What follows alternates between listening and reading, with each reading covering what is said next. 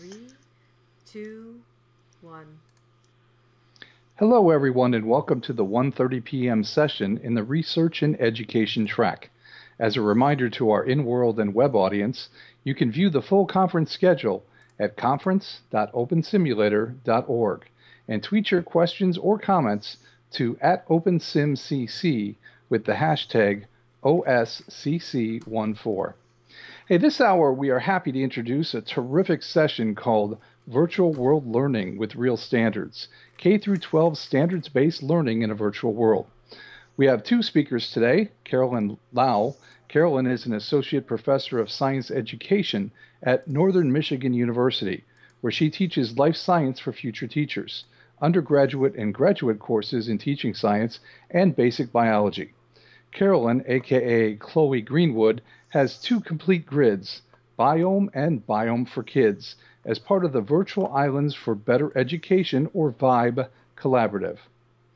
Amy Pihlainen, Amy is uh, also known as Elsie Alcello, and she is a uh, K through 12 teacher in a small rural school in the Upper Peninsula of Michigan, and she's conducting research on the use of virtual worlds to teach science in a K through 12 setting.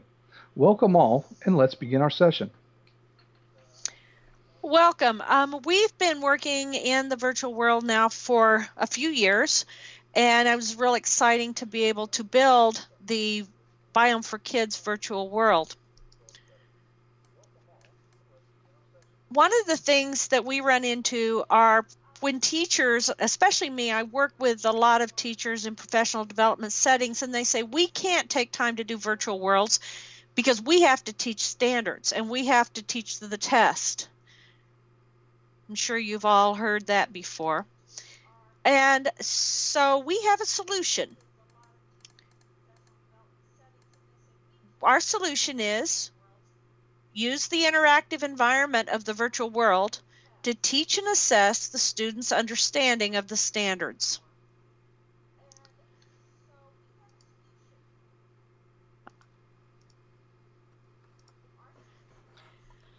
Okay, and um, I'm just going to give you some background. Um, I'm Elsie. I'm just going to give you a little bit of background about uh, my class at the time of the project I was doing. Um, I had 13 fifth and sixth grade students at the time that were attending a rural school in the Upper Peninsula of Michigan. Uh, there were 53 students that were total uh, total students in the school. They were preschool through eighth grade, and um, the students uh, are taught in combined classrooms. So my fifth and sixth grade students were taught in the same classroom. Uh, getting students started in Biome. First, um, we had to get them screen names and passwords. Students chose their avatars. Uh, Clowey and I decided um, up front that uh, they were going to be animals instead of humans because they are preteens. We avoided the whole human aspect of them, and we just decided that they were going to be creatures instead. Uh, we decided that they they could just try things out first. Um, they learned how to fly, um, and they were all over the place. They were actually playing hide and seek first, so they were they were having lots of fun in it. Just got to discover at first.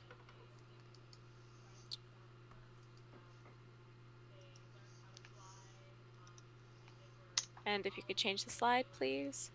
Um, and then they learned how to um, they learned how to teleport. They learned also how to um, offer teleports to others.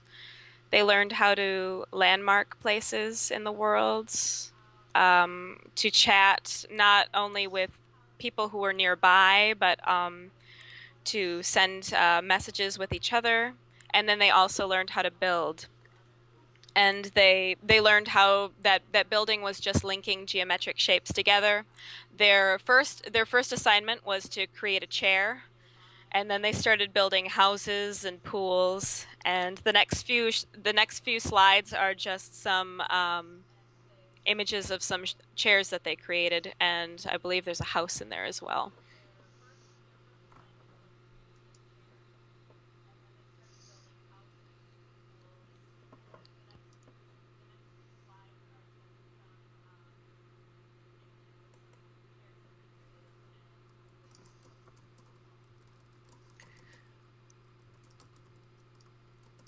Okay, we're going to talk about um, the next generation science standards, which are the newer uh, version of the sci- science standards, um, based on some research done by the National Research Council and, and other groups, and being adopted right now by many of the states. So, how can you do science and still address the science standards. This is an example of one of the science standards. Construct an argument with evidence that a, in a particular habitat, some organisms can survive well, some survive less well, and some cannot survive at all. And I included the clarification statement there because that helps guide the curriculum. Um, again, standards are not a curriculum. They don't tell how to teach it. They're just saying this. These are outcomes. This is what students should know.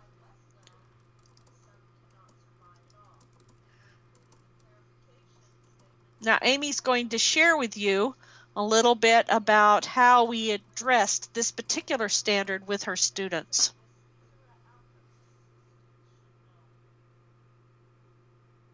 Amy?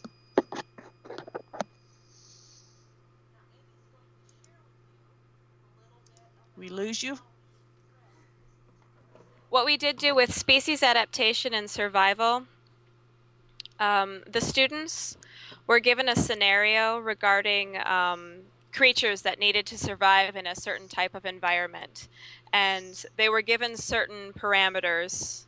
They were given um, a cool. They were they were given a cool, dry environment, and then um, a warm, wet environment and then using the information that the students had um, the students had to um, create creatures that they thought would best survive in that environment. And then once they created those creatures, the students went around and they presented that information and they had to essentially um, create a case as to why those creatures would survive in that in, in those surroundings. And the next few slides are of the creatures that they did in fact create.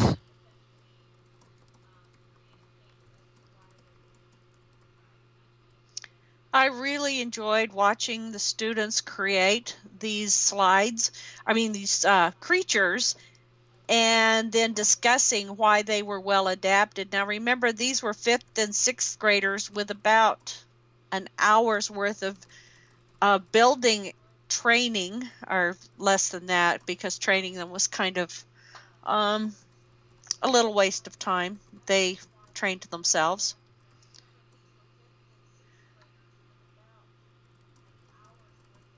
Okay, another problem that we run into, that I run into, is teachers, um, and it's so unfortunate in many of the um, different school districts. I hear we don't do science because we're only tested on language arts and mathematics. And in fact, one of my granddaughters called me the other day and said, Yes, I think next nine weeks we do STEM. I think that's science. So in her school, they only do science for nine weeks. She is um, eight. So it's really important that we help people understand how to do science and English language arts and mathematics and use interesting curriculum designs like virtual worlds. So it's really nice for science in particular because the next generation science standards have put in there the um, Common Core connections. Kind of delaying a little so that the audio catches up with the with the slides.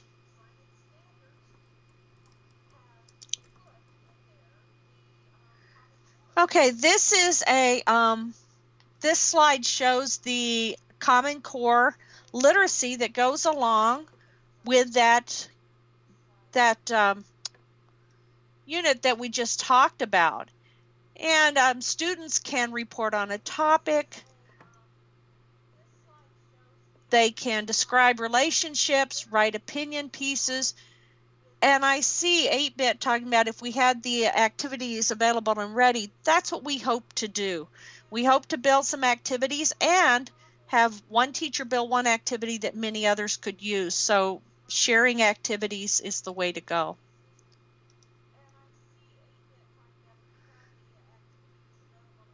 Okay, for the next slide, we're going to um, talk about the molecules to organism structures, one of the science standards.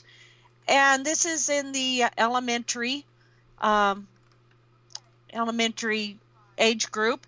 And as students who demonstrate understanding can construct an argument that plants and animals have internal and external structures that function to support survival, growth, behavior, and reproduction. And so examples of those could include thorns, stems, colored petals, heart, stomach, and so on. And Amy had a really good idea of how to do that with her classroom. So, Amy, if you could go ahead and talk a little about what you did with this next activity. Okay. So, what my students did, they had um, an animal classification assignment. And um, Clowey did, um, she had a coral reef that she created and the students first went into this virtual coral reef as a class, and each student chose a coral reef animal to research. And the students actually physically made drawings in, in the real world to draw, you know, of their creatures. And they took digital photographs of them. And then they they imported them into the virtual world and then they they researched their their creatures and then they actually um, they also imported presenters into their into the coral reef very similar to the one we're using now in this presentation so they had to learn about the texture and and the hud so they had to learn how to click through and, um, and to upload photos into um, virtual worlds um, which was quite cool. So, um, and once again, they had to learn how to present information in chat form. And it's really interesting when when students are presenting information in front of in front of a class when they're speaking as opposed to in front of a class when they're typing because when they're in front of a class when they're speaking they'll say uh um uh well uh that but when they're typing they're much more concise and they have to be much more to the point because they're typing and they have to do it well. So they they were very much to the point and they actually became much better speakers because of it. So it was quite cool and it did it um, they they became very good at um, uh, learning how to resize and upload photos. Um, they were working with PowerPoint. They were working with um, the presenters, and they learned a lot about the animal classification, which was quite cool. I think one of the uh, most fascinating things that Amy has found, and I'm very interested in, is how using this technology for her face to face class has changed the interactions within the classroom and how they're taking these skills, not just skills like making pictures, but also skills like um, how they interact with each other, how they write, how they communicate, and putting that into their to the rest of their um, experiences. Yes, absolutely, absolutely. one of the biggest yeah uh, and yeah social i think big one of the biggest things was socially how they interacted with each other because um, there was um, one one student in particular who um, socially didn't interact with the other students very well but was um, was very good with computers. And because all of the other students wanted to do very well in this program they would ask the student for help. And it helped it helped the student become much more popular in the class and much more socially capable than the, than the student was before and that helped that helped a lot. And also there were students that would not speak in class but would speak in this program which was very amazing. And it was it was cool. They would almost never speak in the class but then would speak to each other in here. And so that was very very cool.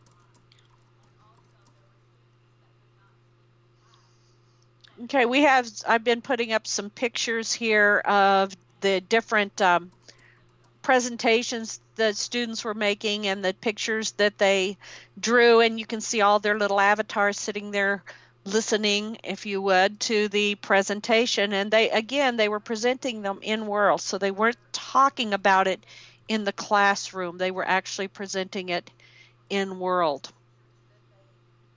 And there always has to be some some panda that has to sit on the presenter but you know that's okay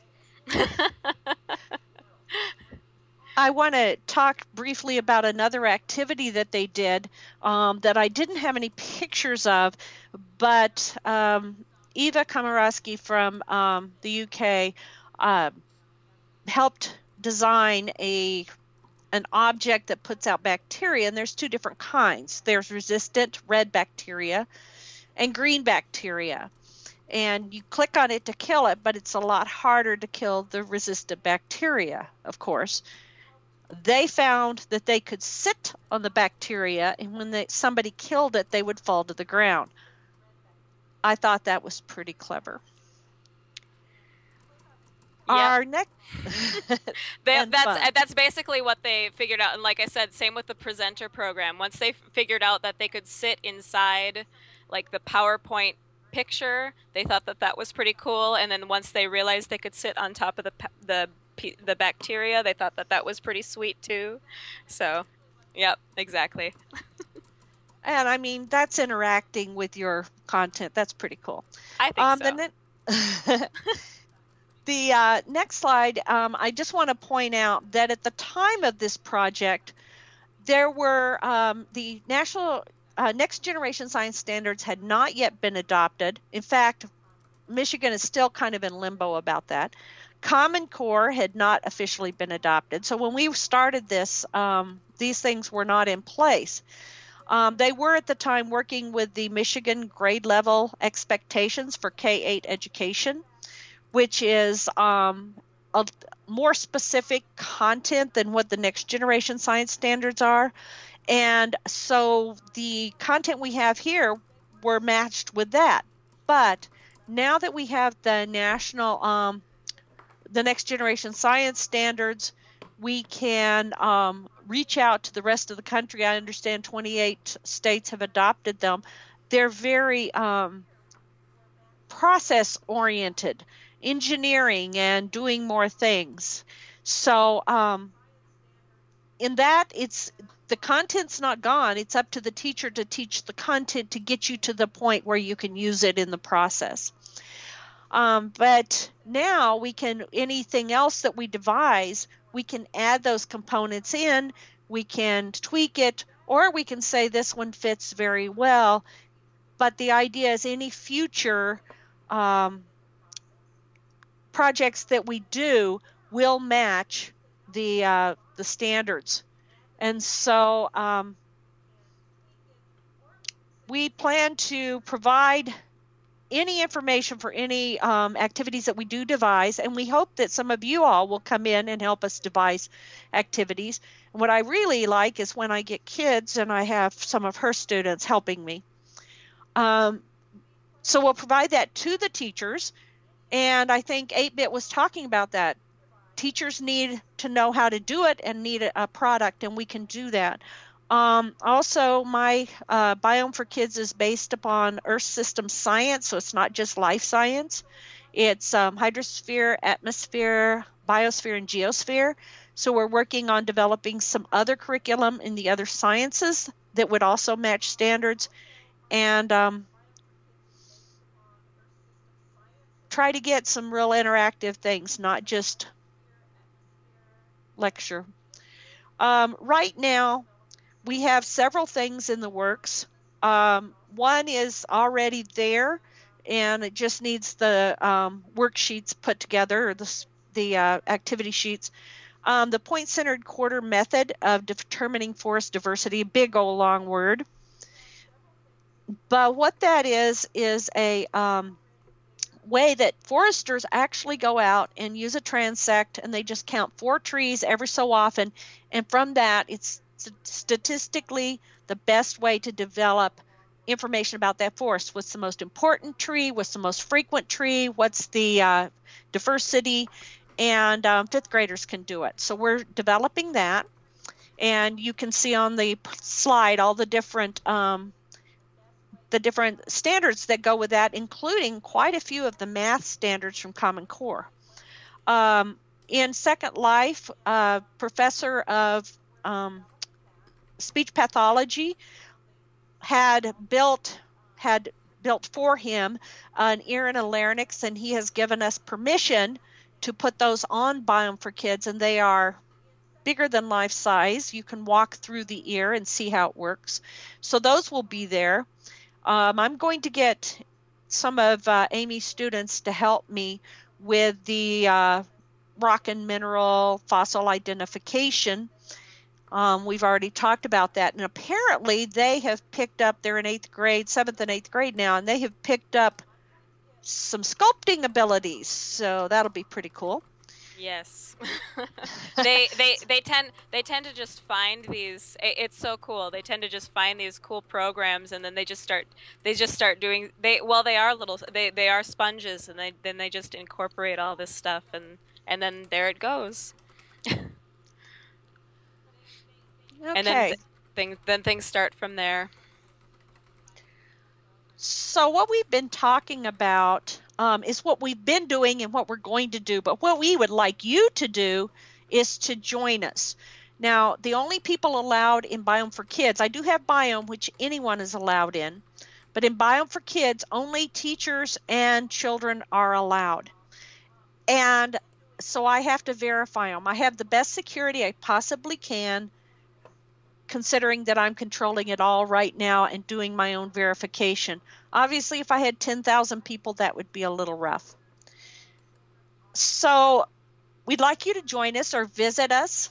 We do have a way for you to take a tour as well. And um, did I just not get to the next slide yet? There we go. Um, we would also like to invite children, and particularly K 8. I think older children can be there. They may appreciate Biome more, but obviously in a K 12 setting, they'd probably, the school district would probably prefer the security of Biome for Kids. Um, I do have some homeschool kids coming in, and I have my own grandchildren going in, and some just some uh, friends' children. So they have an opportunity. I don't want to make it a closed system where people from all over the world can't get there. I want them to be able to meet each other we'd like to invite you to help us develop more instructional units, even if you just give us an idea. Maybe we can build it. We can work together that way. You tell us, give us an idea, we'll see what we can do. The other thing is consider building your own K 12 grid. And we do have some server space still on Vibe, and there's other places, but um, consider that. And please do give us feedback. Come and visit, give us feedback. Give us feedback now. We'd really appreciate that. And so I'm going to put up um, our contact information. Um, I, you will find me. I'm Clowey Greenwood in all the virtual worlds, Second Life, and wherever you see Clowey Greenwood, that's me. Never run into another one. And my email address, and I'm actually going to post that in the um, chat here.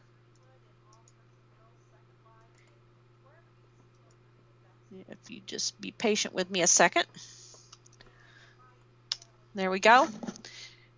Um, I have a website as well for Biome for Kids. It has everything you need to um, know how to access it. To get permission, you have to fill out a form. It has um, a link to the Prezi I put together for how to set up the viewer and how to access the world. Um, it's the Prezi, by the way, is been recognized by many different people as being very helpful, and I found it shortened the um, learning curve for my college students down to 30 minutes. 30 minutes, and they're doing what they need to do, including using the camera, which is a big thing. So, any questions? Or would you like to see more? Uh, if you'd like us to, to go back to any of the pictures, I understand I was going through a little fast, so I'd be glad to go back if there's something you'd like to see. And I'm watching the chat log for that.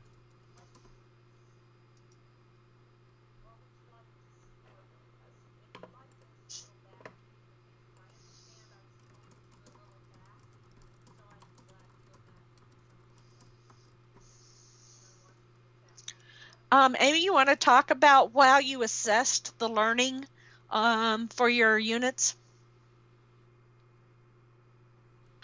Um, what I did with um, the the assessments for um, the life science, um, the the particular uh, the particular um, ass- assessments for those assignments were in the virtual world. That does not mean that the life science assessments were completely in world. I had I had I still had separate um, separate assessments um, outside of that. I had separate projects outside of that. It, those um, those particular assignment um, assessments just happened to be in world, which happened to be presentations and projects. I really particularly liked the um, the ones where they um, made the creatures. I trying to get back to that slide. I just think that uh, they were given the uh, activity, they were given the scenario. Here's this environment. You've got to build something there, and they did. And I was so impressed. And then they could tell you why, why they did. So that's a great assessment. If they can say this this creature has really long legs, it was adapted to live in the mud, so it didn't get stuck in the mud. Um, I think that was one of them, and one of them said um, that the babies were more poisonous than the adults, so they wouldn't get eaten like turtle babies. Yeah, And that so was they- yeah, th- that was the fish. The fi- the baby fish were sp- were spotted, and those were they were they were poisonous, and so they had a more likely um, chance of growing into adulthood, which was pretty interesting. Yeah, so they had really interesting explanations for things, which was pretty cool.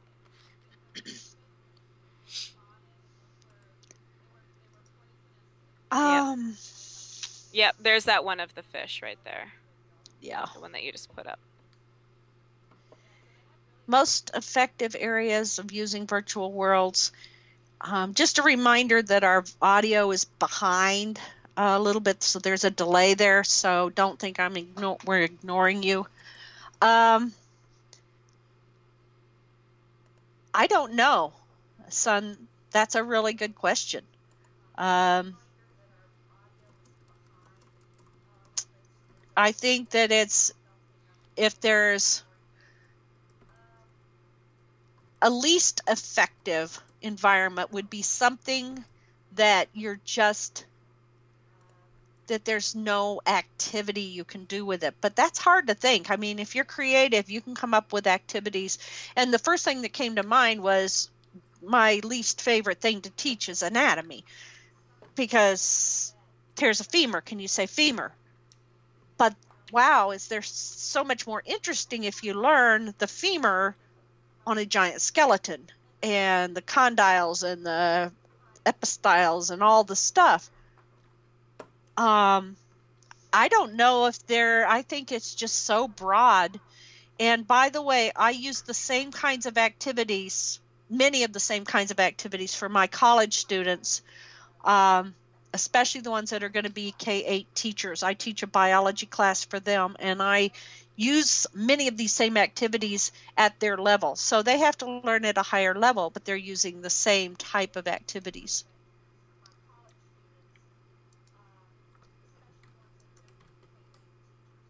So give us some more. You have any more questions or suggestions? We're, we're looking for suggestions.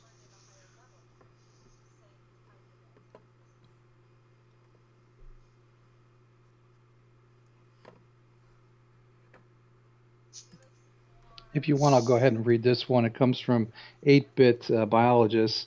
Uh, how much of the world building was done by your kid, your guys, versus you paid a builder versus found uh, versus the kids built it? Um, the only thing that I ever paid a builder for would be the larynx and ear that we're bringing in. There are some things I found around the OpenSim universe, metaverse, by going else, other places, but the vast majority was built by me or by the kids. Almost all of it.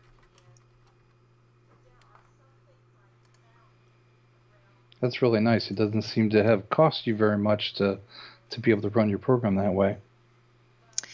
No, and last year I went to um, our dean and I said, We have a really old server and this is what we're doing, and we'd like to get a new server. And he said, How much would that be? And I gave him a piece of paper with the specs on it, and he said, Okay.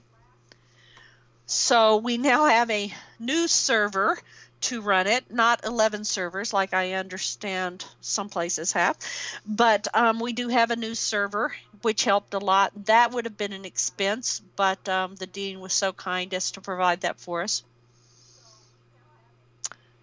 Okay, another question from 8-Bit. Um, actually, more of a suggestion. How helpful would it be to have the kids take a class early on, say maybe like at the sixth grade level, that gets them ready to work inside of a virtual world?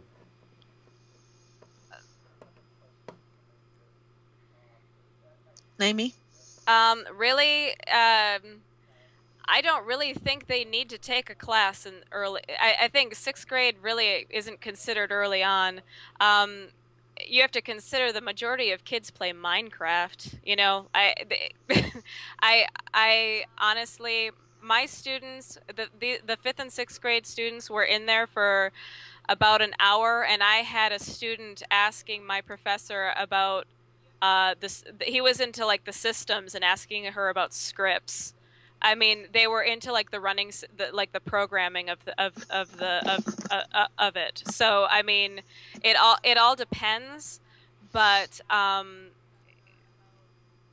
uh, I think I think we get we don't give kids enough credit a lot of the time. I, I think that if you let the students explore, I think they would be able to figure out a lot and quite quickly. Um, okay. So yeah. I think if you look at the kids that play Minecraft, um, and by the way, that doesn't necessarily make them better. Some of the kids that are the best have not played Minecraft, but it just yes, using that true. as an example of how quickly they pick that up. Um, children are just wired for this, and there's not. They don't need a lot of time to get up and running. Um, they're helping me, and in fact, I introduced my grandson when he was six, going into kindergarten, or he was still five, and he couldn't write yet to chat, but he was doing building that I didn't know how to do till I'd been in Second Life for two years. And that was it within an hour. So I don't think that children need a lot of learning curve time. I don't think they need a lot of preparation give them a little bit of time and that's something that uh, amy did in her classroom they had free time where they could get on the computer and then she sent notes home to the parents that they could get on at home with the parents permission she had that's another thing we did um, the avatars that we made there um, all had the same last name, and she had all the passwords. So they couldn't log on at home unless she gave them the, um, you know, the go ahead to do that. And only with parents' permission would she do that. How much did you see uh, parents' involvement? Um, did they seem to be intrigued by the technology, or what kind of perceptions did you get back from them? Um, from the parents um, that I did speak with, they they they were interested in it. Um, the the majority of um, of um, of people I spoke with once once they actually saw it, they thought it was quite cool. I think I think it was more. Um, it, talking about it and not seeing it, it was it was a little too I guess abstract, but I think looking at it, it they thought it was quite cool. Um, I did show it at a school board meeting, and they thought it was amazing. Cool. They actually yeah. want to uh, adopt it for the rest of the school districts, so they Amy do. and are working on doing that. yeah, and also we had a couple questions there from 8-Bit and Franz about budget and things like that. Um, if, if you were to have some money for outside development. Would you have any idea how you would how that would, best work as far as um, you're being able to go out and get services? Like, what kinds of things are you looking for? And like, would you turn to a, a, a storefront like Kitely or someplace like that, or are you looking to bring in a developer to actually build things directly uh, as you need them one at a time? I would bring in a developer, and I've done that before. In fact, um, 8-Bit talked about seeing the um, the larynx that was built by Sias Saarinen, which is um, Don Bickley in real life. He was one. He was an undergrad at my school. Showed up at my door, said, "I know about Second Life." Um, we hired him at work studies um, salaries. He now um, works for a university in Alaska, doing this full time. Um, so that was i would just say this is what i need this is what i need and that's what he did. Now that's what he does is biology labs. And um, as far as yeah i would i do bring in things. If i could just get my coral reef i had in second life rebuilt it would be wonderful because i had so much. I still have it but no place to put it. Um, but i would you know things that i find i wander around and i bring things in to use but if I could, for a lot of the activities, it would be really nice to have a scripter um, and somebody who does a lot of mesh building because I'm not quite to that. I'm not that artsy, and I'm learning the scripting. I used to be a really good programmer, but I'm so old that was Fortran, and so um, you know I really need to learn to do that. But I it would that's what I would do. Yeah. Well, there's also a lot of tools out there too, but I think it's like knowing where to find things. And that's really where I believe the community comes in. Like one of the things I learned about was websites that you basically dial up a script as opposed to you're writing it yourself from scratch. You know, things like that for folks that aren't quite as uh, proficient for just some of the basic stuff. And then when you need stuff more on the high end, you can go and hire those out. Yeah, I do a lot of the um, tweaking the scripts and using the websites, and I can do that basic scripting. But for instance, with the um, scripting of the uh, bacteria, we wanted it to be released at a certain uh, mm-hmm. probability rate, and if it killed, it didn't reproduce. If it wasn't killed, it did reproduce, and that was that was just a little beyond my scripting ability or anything I could find. Understand. So you know, that's what I would like. As far as money, we're looking for a grant right now at our university to help support some of this development. Okay. Now, one of the things that 8-Bit was asking about is how many computers you have for the kids and what kinds of computers are they? Uh, the types of computers, um, gosh, we just bought new computers this year. I, I don't remember the brand. They're not Macs. Um, we have um, we have two rolling laptop carts, and I believe there's like 16 in each of them. We have enough for all of the students. So they're um, and because our school is so small, we we typically we have like two desktops in each room, and we have like two rolling laptop carts. So we have more than enough for all students because we usually have between like 45 to you know 45 to like 55 kids in the school um, a total. So yeah, we always have enough for all the kids.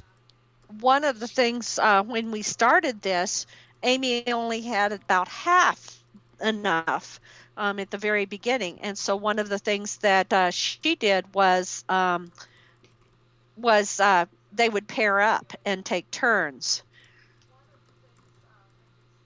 Yes, and I had, and at the time too, we had um, we had an issue with our our um, our the drivers and the current and the laptops that we had, but luckily we had um, one of our eighth graders was a computer genius, and he was able to fix our problem.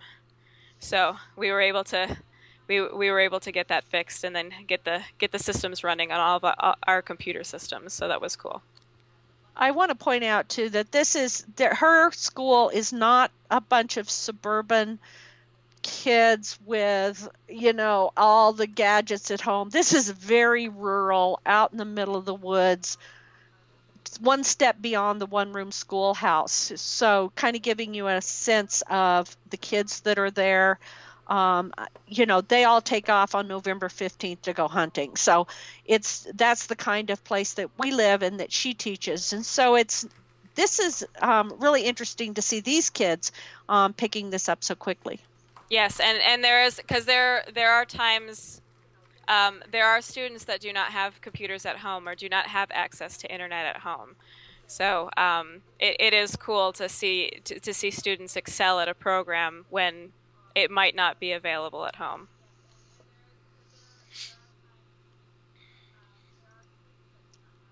Oh, so many good comments. I'm going to keep all of these. And um, please do contact us. Contact me in World. Contact me um, by via email um, or go to our website and um, come visit us. But I would like to share with you, I'd like to collaborate with you, and I'm sure Amy and her students would really like to get together with you and your students. So thank you very much for hearing us out, and um, we hope to see you soon. Yes, thank you very much. Well, thank you, Carolyn and Amy, for a very terrific presentation. As a reminder to our audience, you can see what's coming up on the conference schedule at conference.opensimulator.org. And the next session in this track uh, will be Instructional Design in the VRLE Environment with Catherine Donahue at 2.30 p.m. Thank you again to our speakers and